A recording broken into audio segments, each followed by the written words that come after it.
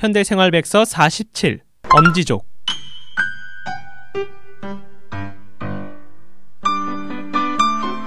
엄지손가락으로 24시간 휴대폰을 두드리는 사람.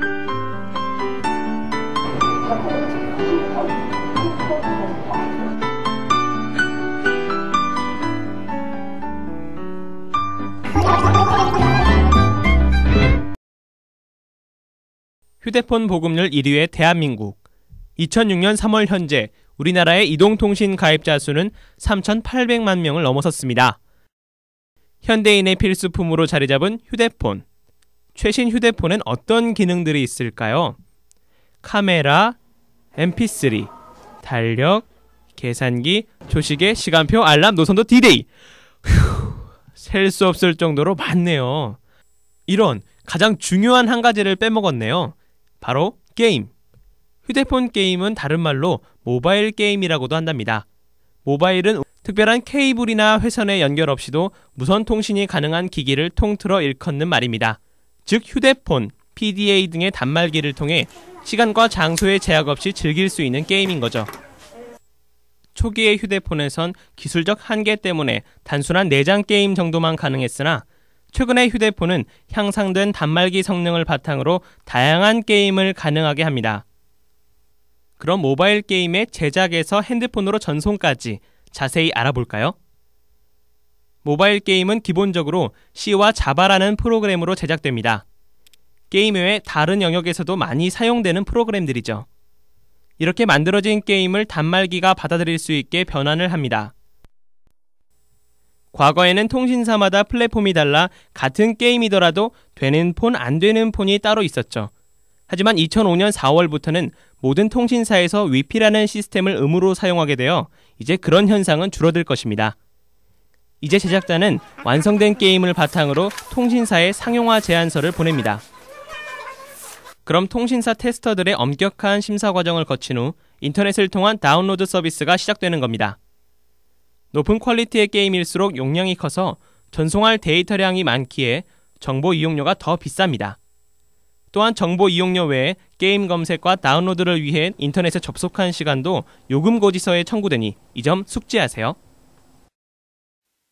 한 모바일 게임 업체를 찾아가 봤습니다. 현재 그 한국 모바일 게임 시장은 2천억 정도 규모의 시장을 형성하고 있고요. 어, 그리고 이 시장이 어, 2000년부터 지속적으로 성장을 해왔고 어, 성장성이 조금 둔화되긴 했으나 그래도 어, 연20% 이상의 성장을 어, 하고 있으며 앞으로, 앞으로도 어, 지속적으로 성장이 가능할 것이라고 예상을 하고 있습니다. 특히 올해부터는 그 휴대폰 사양이 굉장히 좋아지고 이동 통신 사의 망들에 따, 망들의 그 속도의 개선에 따른 그 많은 advantage가 있어서 기존에는 없던 네트워크의 형식의 그 게임들이 많이 나옴에 따라서 마켓의 성장이 훨씬 그 한층 더 어, 높아지지 않을까라는 예상을 하고 있습니다. 이 회사의 컨텐츠는 미국, 일본, 유럽 등 해외 시장에서도 좋은 반응을 얻고 있습니다. 여러분 게임폰 많이 들어보셨죠? 스카이 IM8300, 사이언 SV360, 애니콜 SPH, G1000 등이 그에 해당합니다. G팡, GXG 등 각 통신사에서 다운로드 전용 홈페이지를 운영하는데 이곳에서 제공되는 게임들은 게임폰이 아니면 실행이 불가능하답니다. 일반 콘솔 게임에 뒤지지 않는 한 차원 높은 수준을 자랑하지만 단말기 가격과 정보 이용료가 만만치 않으니 충분히 고려해야겠죠. 모바일 게임의 열풍이 대학 교육 과정에도 영향을 미친 걸까요?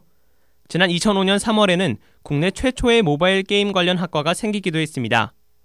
아직 1년밖에 지나지 않았지만 국내 많은 유명 업체들과 제휴를 맺으며 그 전문성을 넓혀가고 있습니다. 지금 보시는 화면은 미니게임 천국이란 게임입니다. 지난 2월 대학내일에서 실시한 모바일 게임 선호도 설문조사에서 고스톱에 이어 2위를 차지한 게임입니다. 대학생이 즐기기에 너무 단순해 보인다고요? 천만의 말씀입니다. 귀여운 캐릭터들을 보며 키패드를 누르다 보면 한 시간이 훌쩍 지나간답니다. 친구와 함께 이 게임으로 오늘 점심 내기를 해보는 건 어떨까요? 너무 오래 하면 건강에 안 좋으니 연습은 적당히 잊지 마세요.